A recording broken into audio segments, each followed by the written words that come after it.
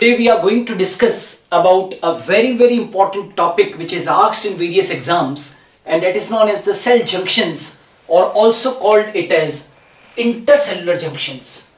Now the question arises that why we are studying the cell junctions and what is the function of these cell junctions.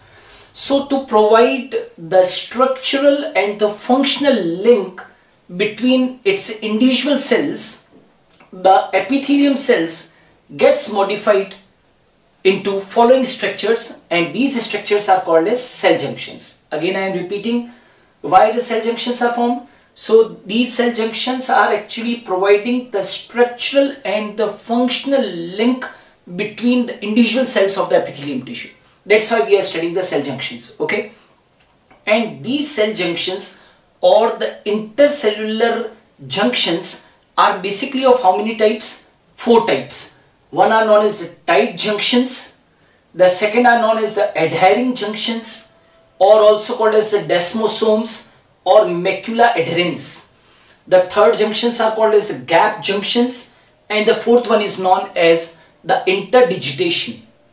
But out of these four, the three important junctions are the tight junctions, the adhering junctions and the gap junctions what you can see in your NCERT also class 11th okay? And the fourth type are the interdigitation. So cell junctions are of how many types? Four types. Tight junctions adhering junctions gap junctions and interdigitation. Fine. Now let's take one by one. Number one tight junctions. As the name is indicating that these junctions which are found between the cells are tightly bound okay? Tightly bounding the cells. Fine so tight junctions at some places, the plasma membrane of the adjacent cell. You know very well that the outermost membrane of the animal cell is what? The plasma membrane. So at some places, at some places, not at all the places, at some places the plasma membrane of the adjacent cell become fused to form tight junctions. Okay, again I am repeating, at some places the plasma membrane of the adjacent cells become fused together and it forms the tight junctions. Okay. Now what is the prime function of the tight junctions?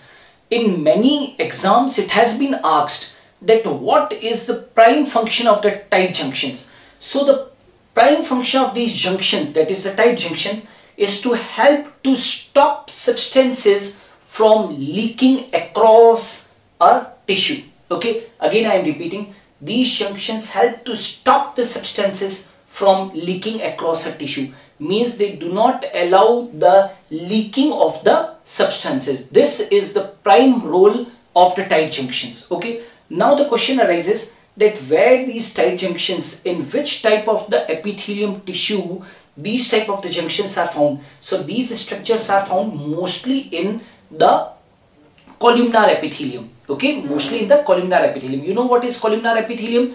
A epithelium in which the cells are column like or the pillar like elongated cells. So the cells of the columnar epithelium right are having these type of the junctions known as the tight junctions which prevent the leakage of any substances across the tissue okay? Now the second one are also important known as the adhering junctions or also called as the desmosomes or also called as the macula adherens. As the name is indicating, what is the meaning of the adhering?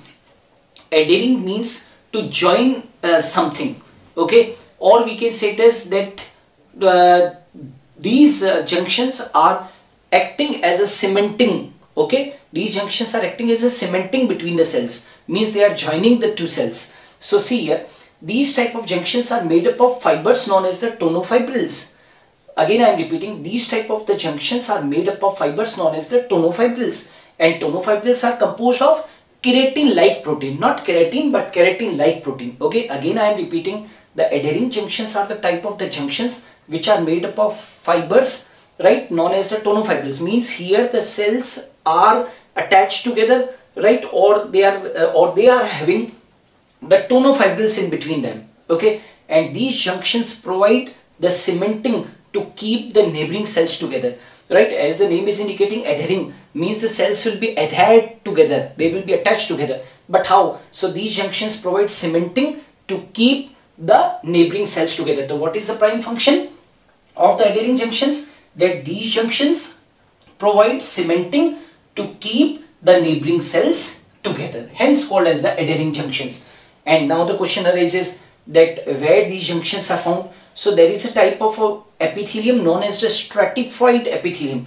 stratified means epithelium in which the cells are found in layers so these structures means these adhering junctions or these type of the intercellular junctions actually provide mechanical support to the stratified epithelium. So they are providing mechanical support to the stratified epithelium. Fine.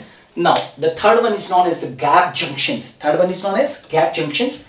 So as the name is indicating, these junctions facilitates the cell to communicate with each other, to communicate with each other by connecting cytoplasm of the adjoining cell for the rapid transfer of the ions or the small molecules or the big molecules. Okay, again I am repeating what are the role of the gap junctions?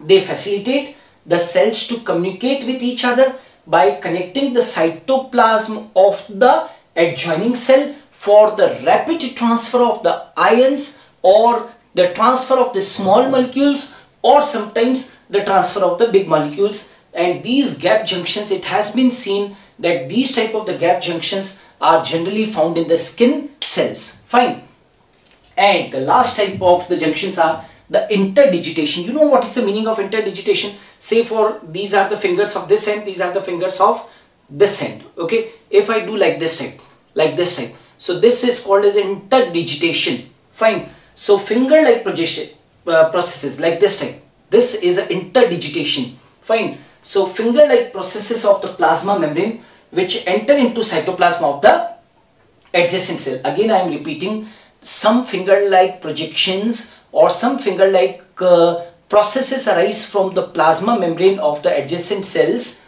okay and they enter into the cytoplasm of these cells. So again i am repeating finger-like processes of the plasma membrane which enter into the cytoplasm of the adjacent cell. And these type of the interdigitations are actually found in the transitional epithelium. They are found in the transitional epithelium. Fine. So uh, these were the different type of the cell junctions tight junctions adhering junctions gap junctions and interdigitation okay so this was the part 2 of the epithelial tissue earlier i have made part 1 of this epithelial tissue you can watch that one also and in the coming time uh, i will be bringing many videos based on this topic and all the other topics of the biology. Thanks a lot for watching me.